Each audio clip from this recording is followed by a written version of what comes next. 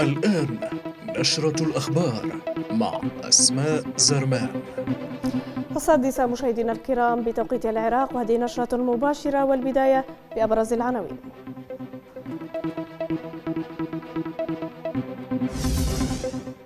بعد مبادرة لحل الأزمة الراهنة رئيس تحالف قوى الدولة عمار الحكيم يعلن عدم المشاركة في الحكومة المقبلة.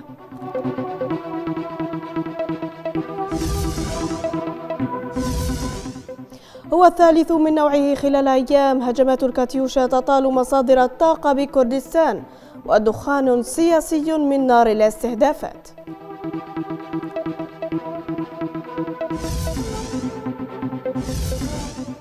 نزاع الوقود يدخل مرحلة خطيرة مذبحة داخل محطة تعبئة في البصرة لرفض منح البنزين خارج الضوابط.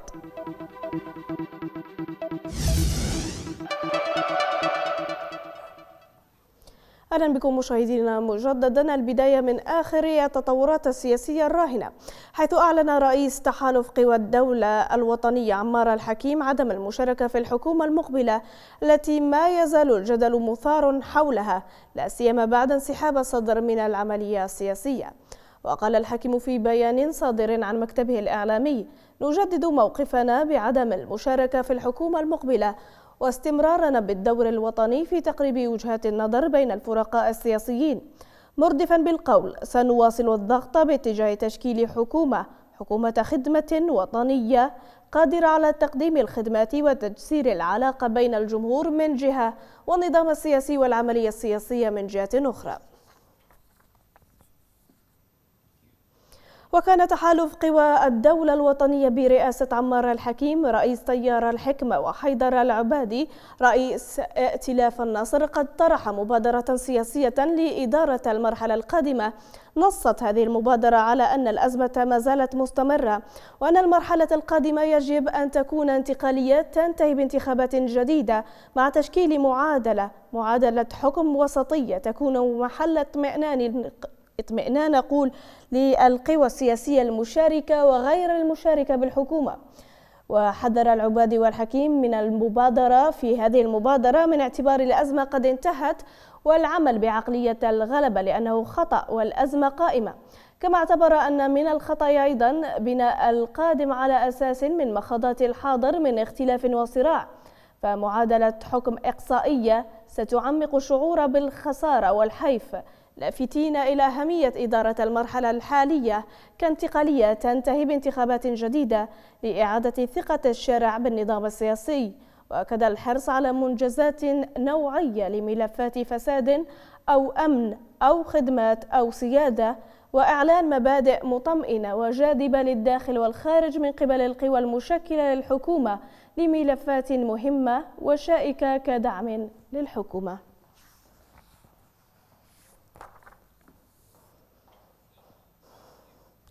هذا واستبعد الأمين العام لعصائب أهل الحق القيادي في الإطار التنسيقي قيس الغزالي. استبعد تشكيل حكومة جديدة في البلاد بعد انسحاب التيار الصدري من العملية السياسية.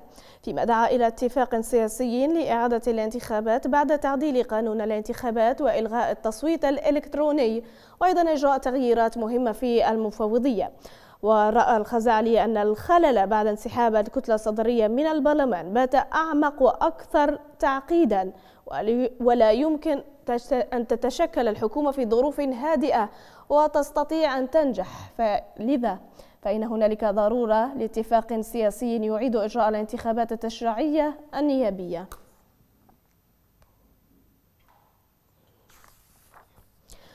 ثلاث ركائز وضعتها الكتل السياسية لتبني عليها مسار تشكيل الحكومة القادمة والتي وصفت بأنها حكومة حكومة خدمة وطنية لتطويب ذلك حكومة الأغلبية الوطنية التي عجز الفائز الأول بالانتخابات عن تشكيلها.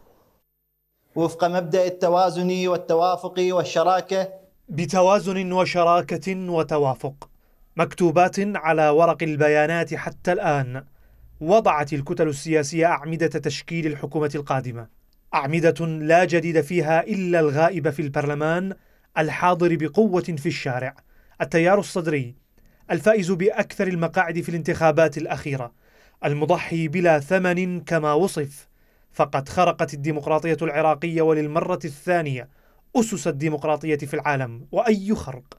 إنه خرق يتيحه الدستور العراقي الذي يمنح ثلث نواب البرلمان إمكانية منع الفائز والمتحالفين معه من تشكيل الحكومة. فقبل الصدر فاز إياد علاوي بأكثر عدد من مقاعد البرلمان بانتخابات 2010 لكنه أيضا عجز هو وتحالفه عن تشكيل الحكومة بسبب ثلث التعطيل. فما كان لعلاوي حينها إلا التنازل عن تشكيل الحكومة لغريمه آنذاك نور المالكي وكان بعد ذلك ما كان من مآس انتهت باحتلال ثلث العراق على يد عصابة إرهابية عاثت بالأرض الفساد وأهلكت البلاد وقتلت وشردت العباد وكان الضحية هنا أبناء المحافظات الغربية الذين كانوا يشكلون جزءا كبيرا من تحالف اياد علاوي المتنازل مجبرا لا بطلا عن حقه في تشكيل الحكومة. وها هو ذات المشهد حرفيا ينتقل اليوم من الغربية إلى الوسط والجنوب، فالتيار الصدري الثقل الاجتماعي والسياسي والديني بل وحتى العسكري والذي يعتبر أكثر الفواعل هناك تنظيما لم يتمكن بأغلبيته العددية والتنظيمية من كسر العرف القائم على التوافق ليذهب باتجاه الاعتزال السياسي التام منتظرا الفرج.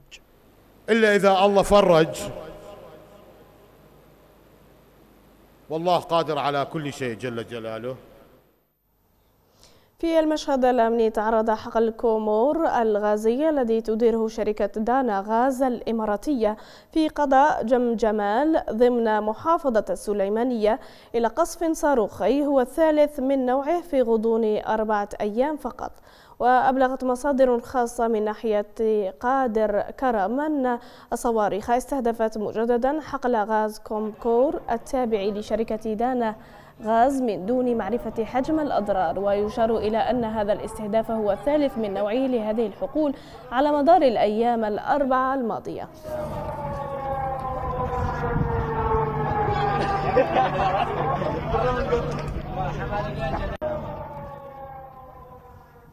أفادت المديرية العامة لقوات مكافحة الإرهاب أن حقل كورمور الغازي تعرض إلى قصف بست صواريخ خلال الهجمات الثلاث التي تعرض لها خلال الأيام القليلة الماضية. وبالتزامن مع القصف الصاروخي الثالث والذي تعرض له الحقل اليوم السبت شرعت القوات الاتحادية المشتركة بتنفيذ عمليات دهم وتفتيش في القرى المطلة على ناحية قادر كرم بمحافظة السليمانية على خلفية الهجمات الصاروخية بهدف تطهير تلك المناطق التي تقع في حدود القوات الاتحادية.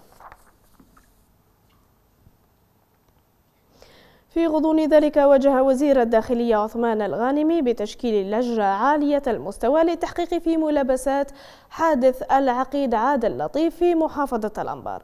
وجاء في بيان لوزارة الداخلية أن الغانمي وجه بتشكيل لجنة عالية المستوى للتحقيق في ملابسات حادث العقيد عادل لطيف كما أمر بأن تتوجه هذه اللجنة إلى محافظة الأنبار لبدء سير التحقيق. وفي المثنى أفاد مصدر أمني في سيماوة بمقتل شاب عشريني على يد زوجته بطريقة بشعة جدا بعدما أقدمت على طعنه بواسطة سكين مطبخ في منطقة الرقبة. المصدر أوضح أن المصاب نقل للمستشفى وتم الادعاء في أول الأمر بأن الحالة انتحار وبقي لمدة نصف ساعة وتوفي هناك. ثم بين الطبيب المختص بأن الحالة جنائية وليس انتحارا وأشار إلى أن حالة القتل حصلت بسبب خلافات زوجية بين الطرفين. من جانبها ذكرت شرطة المحافظة في بيان لها أنها شكلت فريق عمل برئاسة قائد شرطة أقول المثنى بعد الشكوك الحاصلة في الجثة لكون الحادث جنائي. وبعد التحقيق تم الكشف عن الجريمة خلال ساعتين حيث ألقى ألقي أقول القبض على الزوجة وتم اتخاذ الإجراءات القانونية اللازمة بحقها.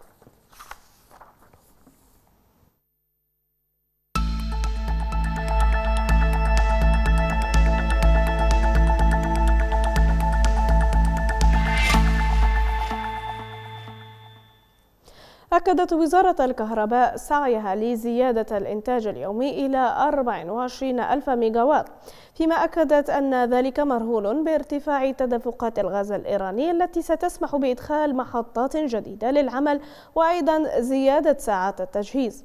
الوزارة أوضحت أن حجم الإنتاج الحالي من الطاقة يصل إلى قرابة العشرين ألف ميجاوات يوميا مبينة أن هذا الرقم ما زال لا يسد الحاجة الكلية.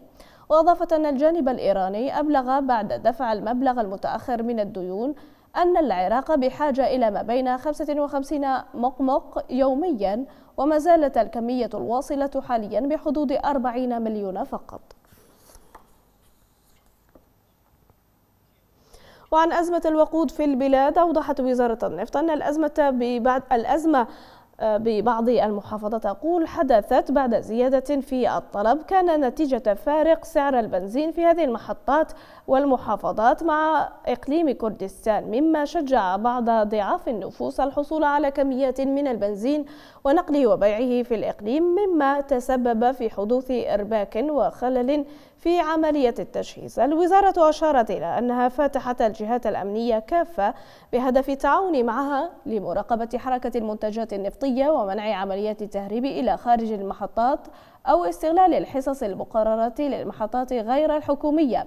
وأيضا العمل على منع التجاوز على حصص المحافظات من خلال إجراءات صارمة مبينة أن هذا التعاون من قبل الجهات الأمنية أثمر عن إلقاء القبض على العديد من المتاجرين والمهربين وضعاف النفوس ووضع اليد على أوكار خزن وبيع الوقود خارج الضوابط سواء في بغداد أو المحافظة الأخرى.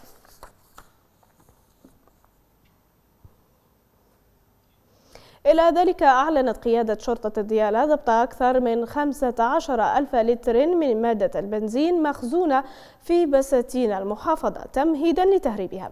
وذلك خلال عملية نوعية لملاحقة أوكار تهريب المشتقات النفطية وأيضا إنهاء أزمة الوقود في المحافظات. وذكرت الشرطة في بيان لها أن كميات مادة البنزين المضبوطة كانت عبارة عن خزانات وبراميل مخزونة داخل البساتين معدة للتهريب وتحوير خزانات الوقود لعدد من العجلات مؤكدة اتخاذ الإجراءات القانونية بحق المخالفين لأجل إنهاء معاناة المواطنين من الانتظار لساعات طويلة لغرض تزويد العجلات بالوقود.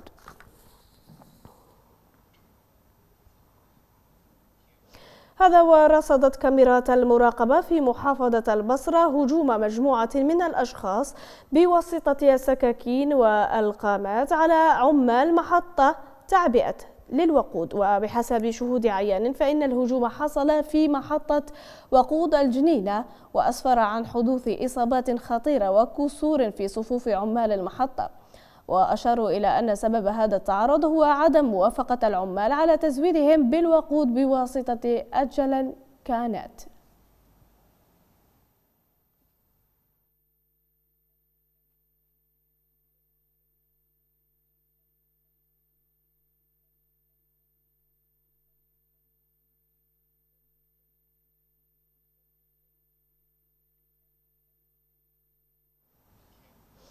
شهدت محطات الوقود في مدينة الموصل ازدحاما شديدا حيث يضطر بعض السائقين للانتظار لساعات طويلة في طوابير من أجل تعبئة الوقود. وأثار الوضع استياء سائقي السيارات الذين طالبوا مسؤولي المحافظة بإيجاد حل عاجل للأزمة. وأكد سائقو السيارات أن أحد الأسباب المؤدية إلى نشوء هذا الزحام هو توجه بعض سائقي أربيل ودهوك إلى الموصل للحصول على البنزين مطالبين بإعادة عمل المحطات على مدار ال 24 ساعة. خلي يرجعون البنزيخانات نظام ال 24 يومين ولا سيارة ما تظل. يومين ولا سيارة ما تظل. رجعوا البنزيخانات 24 ساعة. خلال يومين ولا سيارة ماكو. وهذا سر البنزين قدامك. إحنا من القصور واقفين. هاي محط بنزيخات المجموعة. منين واقفين؟ من القصور. زين إحنا شنو ذنبنا بالمناسبه اليوم السرعه وصل إلى القصور الرئاسية. طيب ليش هذا الكذب؟ أنت مسؤول يا أخي ليش تكذب؟ ليش تكذب؟ تخاف المسؤولين مالك وما تخاف من الله وما تخاف ان الناس تدعي عليك؟ ليش يا أخي؟ ليش؟ الحل الوحيد لفض أزمة الوقود هو تغيير هؤلاء الفاسدين. سووا كوبون. أو قبل أسوي بطاقة السكن تقريبا انتهت الأزمة. على بطاقة السكن. رجعوا بعدين لغوها ومشوا لأنه ما تصرف لما الشغلة. مشوا الكوبون. الكوبون يمكن من مليونين سياره اللي استلموا خمسين ألف فقط. وهاي المحطات داشره فارغة ما حد يستلم منها. فقط هاي الجامعة وكم محطة القاهرة بج... القاهرة أشكبرها والله ماكو. سدوا مع هاي الأزمة الجزائر محطة الجزائر هسه مسدودة. التأميم.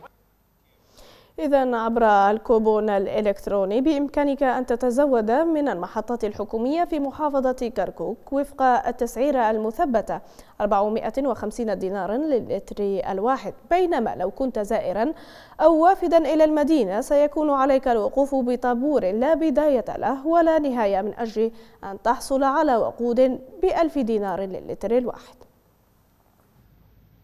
مع سبق الإصرار والترصد تغيرت تسعيرة الوقود في كركوك فارتفعت إلى ألف دينار للتر الواحد. يأتي ذلك في ظل تحديات سياسية واقتصادية تواجه إدارة المحافظة مع الحكومة المركزية. يضاف لها ارتفاع درجات الحرارة وزيادة الطلب على الوقود. للأسف الشديد آه، تواجه الإدارة عقبات أحيانا في تجهيزها بالوقود آه، وفق ما أقرته. وزارة النفط من آه، ضوابط وتعليمات آه، نحن في أشهر الذروة هنالك استهلاك مفرط. يتزامن ذلك مع أيضا زيادة الطلب على الوقود. طبيعة كركوك وجغرافيتها المحاددة مع مدن تشهد ارتفاع كبير بأسعار الوقود تشهد إقبال وزيارة المدينة مما يؤدي إلى زيادة الطلب على الوقود وأيضا ارتفاعها العالمي فبالتالي جملة من التعقيدات لكن الإدارة تواصل عملها ليل نهار لغرض الانسيابية في التجهيز. الحكومة المحلية هنا دأبت إلى اعتماد البطاقة الإلكترونية حلا يضمن حصة أهالي المدينة من المنتوج بالتسعيرة الحكومية المعتادة. 450 دينارا للتر الواحد. مع الأخذ بالاعتبار أن على المواطن أن ينتظر ثمانية أيام من أجل التزود مرة أخرى. أنا أصلا عندي سيارة. والله اليوم عفتها بالبيت وطلعت لأن ما بيها بنزين. وباكر يوصل السراي تروح أفول من الحكومة. واللي أهلي هاي شوف عينك. بألف دينار وسرة واصل مفتر راجع لهنا. يعني شلون أفول؟ والله ما أفول. ألف دينار قد. أنا ترى خارج المحافظة يعني خارج كركوك. من أروح وأرجع يعني 10000 دينار ما تكفيني. ها إذا أنت كل ما تفول 10000 دينار 10 لترات تكفيك. روحها جاية والله ما تكفي. محطتان فقط خصصتا لمن لا يمتلكون البطاقة الوقودية وللزائرين والوافدين كذلك. بينما تعمل بقية المحطات الحكومية بنظام 24 ساعة حسب الكوبون المخصص سلفاً. في مدينة تزخر بالثروات النفطية يقف مواطنها مستفهما عن المنطق الذي يفترض أن يؤدي إلى وفرة في المنتوج مقارنة بإيرادات الصادرات النفطية التي سجلتها كركوك خلال الشهر الماضي والتي كانت الأعلى خلال هذا العام. من كركوك عبد الله العامري قناة الفلوجة.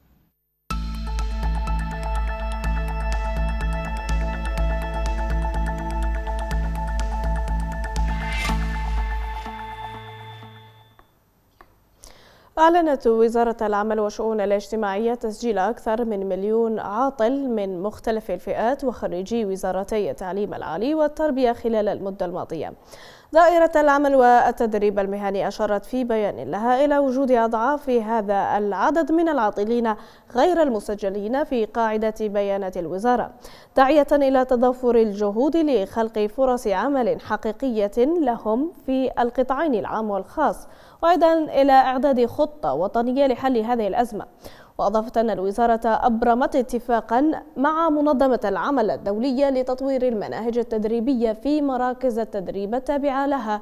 ودعم القطاع الخاص عن طريق مخرجات التدريب المهنية التي تتلائم مع سوق العمل.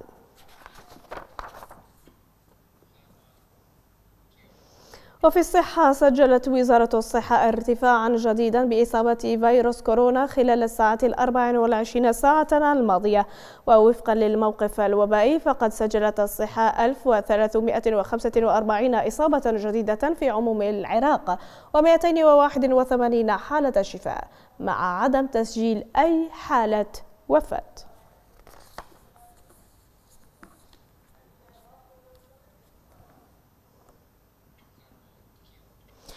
صحيا أيضا شددت وزارة الصحة على وجوب ترك حالة التراخي والالتزام بالوقاية وتلقي اللقاح المضاد لكورونا مؤكدة تسجيلها سرعة أكبر في الإصابات بالفيروس خلال الموجة الخامسة. الصحة أضافت في بيان لها أنها لم تسجل ضمن الموجة الخامسة من جائحة كورونا حتى الآن لم تسجل حالات معقدة كذات الرئة أو وفيات إلا أن سرعة الإصابة بالفيروس أعلى من الموجات السابقة. وأشارت إلى أن الموجة ما زالت ببدايتها وربما تزداد شدة الإصابات أو ربما توازي الموجات السابقة. محذرة في بيانها من تطورها لإصابة رئوية إصابات نقول رئوية وخيمة كما حدث في الموجتين الثالثة والرابعة.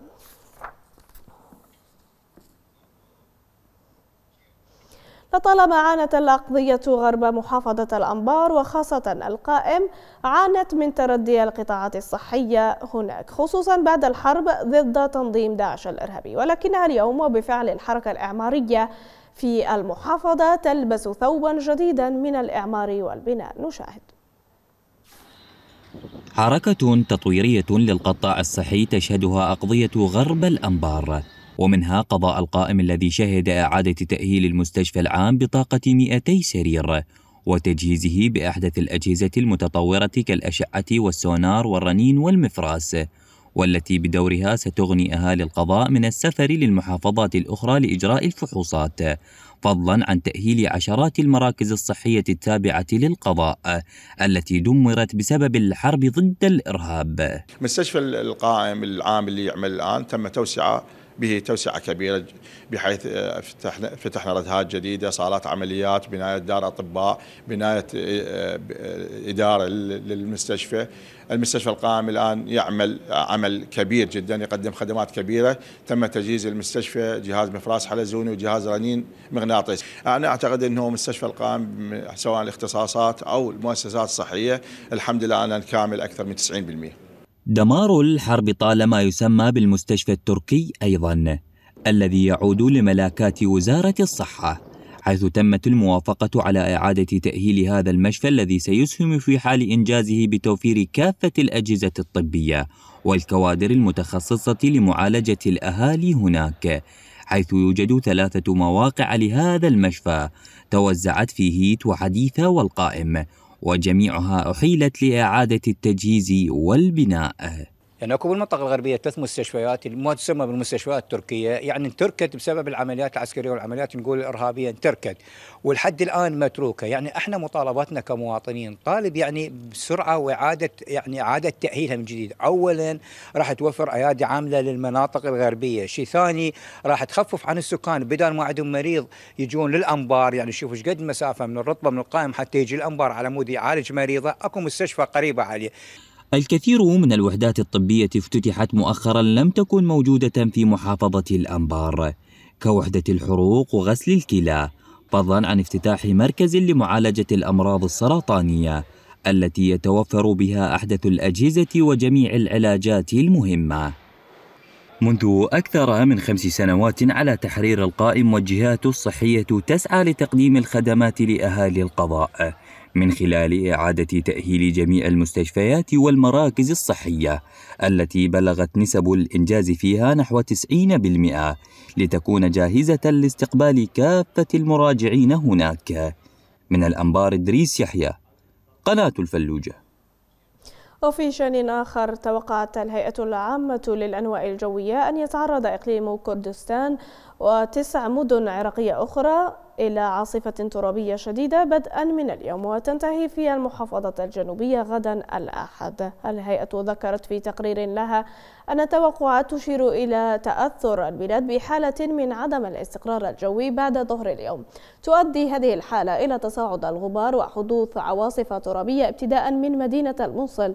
وأضافت أن العاصفة ستشمل أربيل وأجزاء من دهوك والسليمانية وصولا إلى كركوك وتكريت والأنبار والعاصمة بغداد وديالى وكربلاء وبابل وأجزاء من النجف. كما رجحت الهيئة هطول زخات أمطار رعدية في المنطقة الشمالية وخاصة الجبلية منها.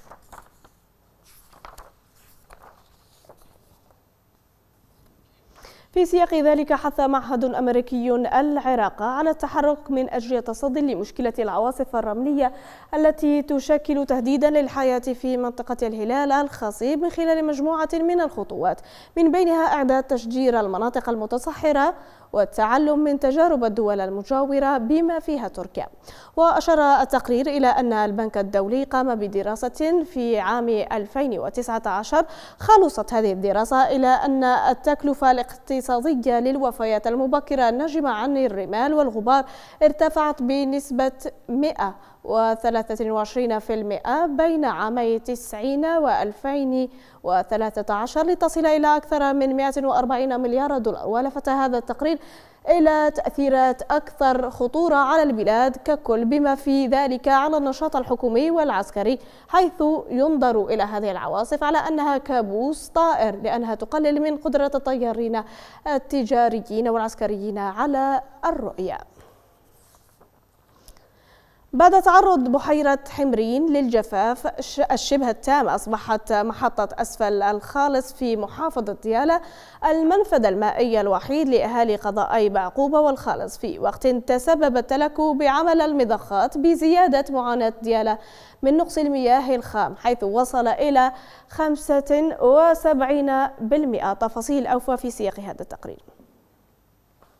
تبلغ الطاقة القصوى لمشروع أسفل الخالص 39 مضخة وتعتبر هذه المحطة المنقذ الوحيد لقضائي الخالص وبعقوبة بعد جفاف بحيرة حمرين إلا أن بعض المضخات متوقفة وأخرى طور الصيانة بالإضافة للتيار الكهربائي المتذبذب.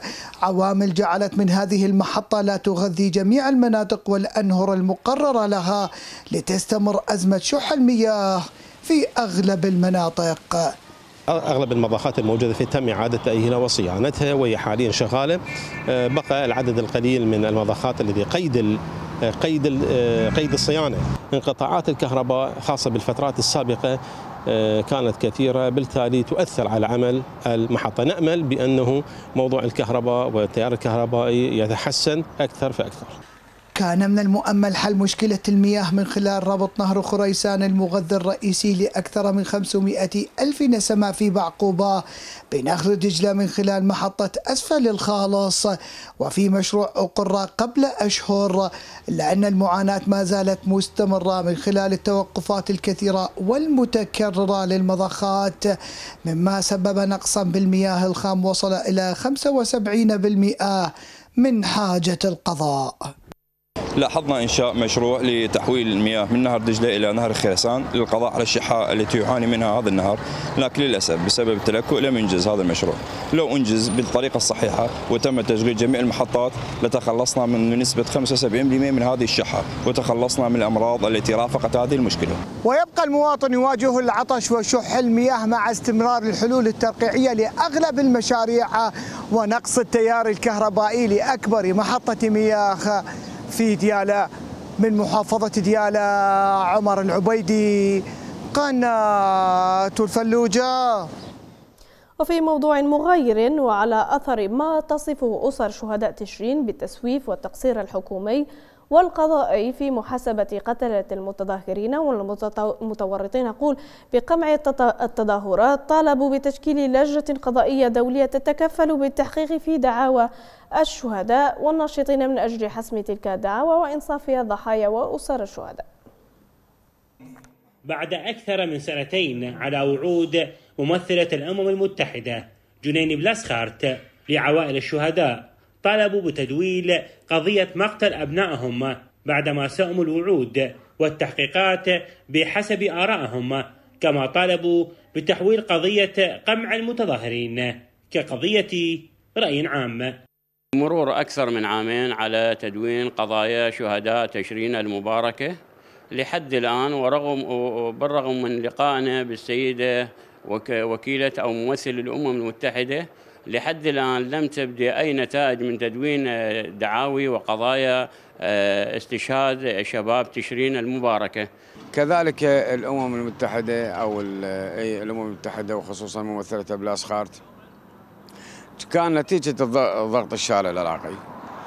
حاولت تنطي سنتين وهي عبارة عن ضغوط على الأحزاب نفسها في سبيل يأخذون مكاسب من الأحزاب مو ينطون حقوق الشهداء تشرين أو للشهداء الحقيقيين. لا بالعكس وإنما جميع الجهات الدولية والداخلية هي كلها متآمرة على الشعب العراقي وهذا أصبح شيء واضح أنه على إثر ما تصفه أسر شهداء تشرين بالتسويف والتقصير الحكومي والقضائي في محاسبة قتلة المتظاهرين والمتورطين بقمع التظاهرات وتصاعد معدلات جرائم الاغتيال ما دعاهم للمطالبة بتشكيل لجنة قضائية دولية تتكفل بالتحقيق في دعاوي الشهداء والناشطين من أجل حسم تلك الدعاوي وأنصاف الضحايا وأسر الشهداء.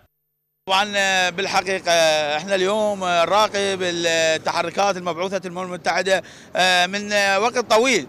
يعني وعدتنا أكثر من من مرة بأن سوف يكون هناك تحقيق دولي سوف يكون المجتمع الدولي الأمم المتحدة بقضية قتلة المتظاهرين والمغيبين والمختطفين. يعني لحد هاي اللحظة إحنا ما نعرف المصير شنو.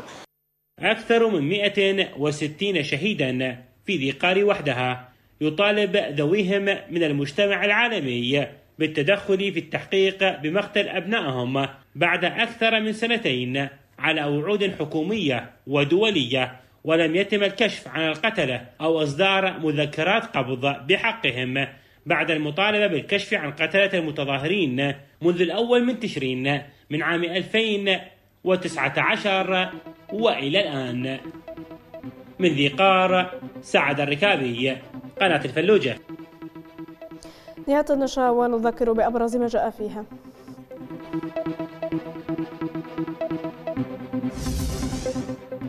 بعد مبادرة لحل الأزمة الراهنة رئيس تحالف قوى الدولة عمار الحكيم يعلن عدم المشاركة في الحكومة المقبلة.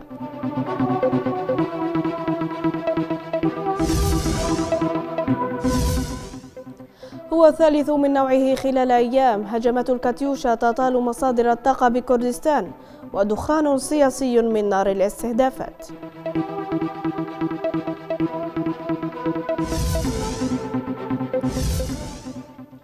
ونزاع الوقود يدخل مرحلة خطيرة. مذبحة داخل محطة تعبئة في البصرة لرفض منح البنزين خارج الضوابط.